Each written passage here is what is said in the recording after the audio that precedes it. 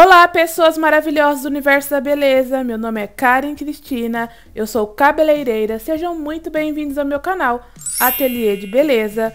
Aqui você encontra dicas para aperfeiçoar o seu trabalho. Então já se inscreve aqui no canal, já clica no sininho para ativar as notificações, já deixa seu like clicando no joinha e não deixe de compartilhar com os seus contatos.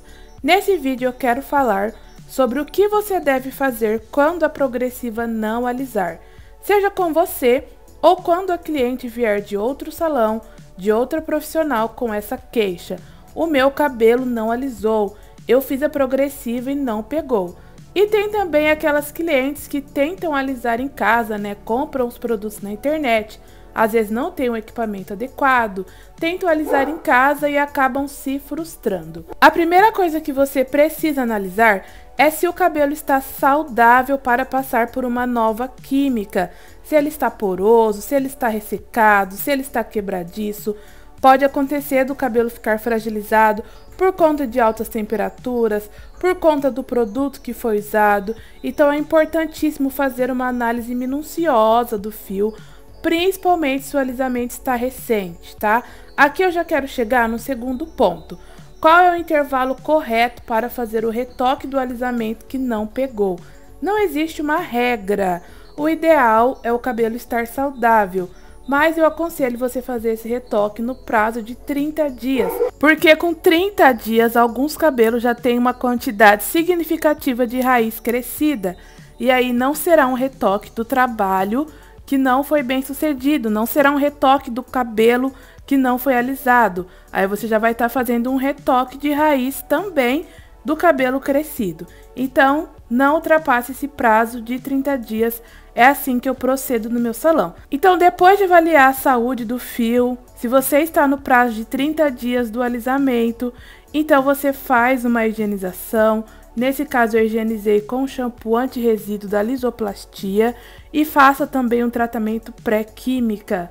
É muito importante você priorizar o tratamento pré-química nesses casos de retoque e se haver necessidade de fazer mais que um tratamento, de montar um protocolo para sua cliente, faça isso. Às vezes você precisa fazer uma ou duas sessões de tratamento, hidratação, nutrição para controlar ressecamento, porosidade. Então é importante também você ter essa conversa com a sua cliente de acordo com a análise da fibra que você fizer do cabelo dela, certo?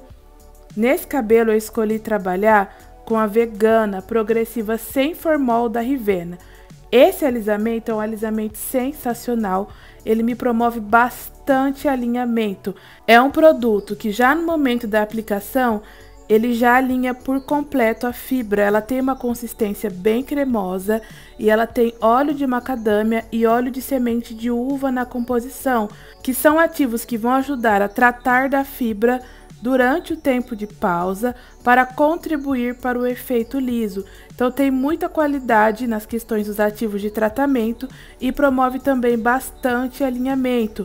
É um produto super seguro, é compatível com todas as progressivas, sem formol e com formol, para as outras químicas e também para progressivas. Eu sempre recomendo o teste de mecha, inclusive quando você for fazer reaplicação, retoques de alisamentos que não pegou, se não foi no seu salão, se foi feito com produtos que você não conhece, sempre faça o teste de mecha. Já tem outros vídeos aqui no canal mostrando os resultados dos produtos Rivena, os meus trabalhos com os produtos Rivena. Então clica no card aqui em cima para maratonar a playlist Rivena. Faz aí um Flix para você conhecer os produtos que são maravilhosos. Nesse cabelo eu deixei o tempo de pausa de uma hora por conta da espessura do fio. Então na sua cliente você vai deixar o tempo de pausa de acordo com a espessura do fio do cabelo dela Quanto mais grosso for o cabelo, maior o tempo de pausa. Quanto mais fino for o cabelo, menor o tempo de pausa. Eu enxaguei todo o produto, toda a progressiva do cabelo, somente com água. Já na cadeira eu apliquei o lançamento da Rivena. Sensacional Finish Hair, super cheiroso, que tem uma textura líquida, leitosa, que não pesa nos fios. Ele tem na composição a manteiga de karité, o óleo do coco, o óleo do trigo, o óleo da semente de uva. Ele é super hidratante, promove a proteção térmica, tem a proteção solar.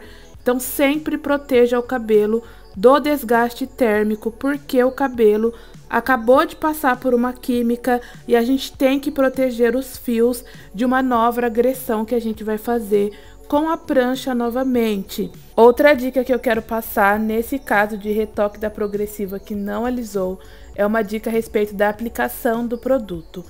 Quando a cliente vem de outro salão que eu não conheço o produto que foi aplicado nela, eu sempre passo o meu produto, a minha progressiva, em todo o cabelo. Por mais que no caso dessa cliente tinha algumas partes que estavam lisa, outras partes que não estavam, eu prefiro sempre passar em todo o cabelo meu produto. Eu fiz o teste de mecha, fiz uma boa avaliação da fibra, verifiquei que o cabelo estava saudável, então eu optei por fazer em todo o cabelo novamente, para que o cabelo ficasse liso. Assim como o pranchamento, eu sempre prancho todo o cabelo também, se o cabelo está saudável para passar pela pressão térmica. Nesse caso, eu usei a minha prancha Lise Supreme na temperatura de 450 graus Fahrenheit, que foi a temperatura adequada para esse cabelo, que equivale a 230 graus Celsius. Eu pranchei raiz, meio e pontas, buscando sempre o alinhamento, sempre o alisamento, raiz a 90 graus, comprimento e pontas a 0 graus, para manter a fibra do cabelo bem alinhada e deixar o liso por completo.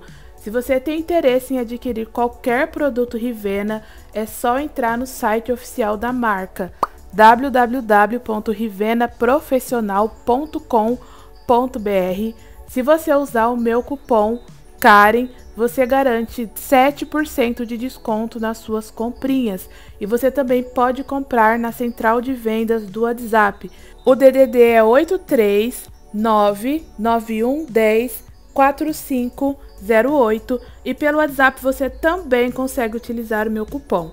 Esse é o resultado final do cabelo, cabelo 100% liso escorrido. Olha o antes como estava, com várias partes que não estavam lisa e a cliente saiu totalmente satisfeita e super feliz. Eu espero que essas dicas tenham te ajudado. Não deixe de me seguir também nas minhas outras redes sociais. Vem ficar mais pertinho de mim e do meu dia a dia de trabalho. Eu vou ficando por aqui. Um super beijo. Até o próximo vídeo. Tchau!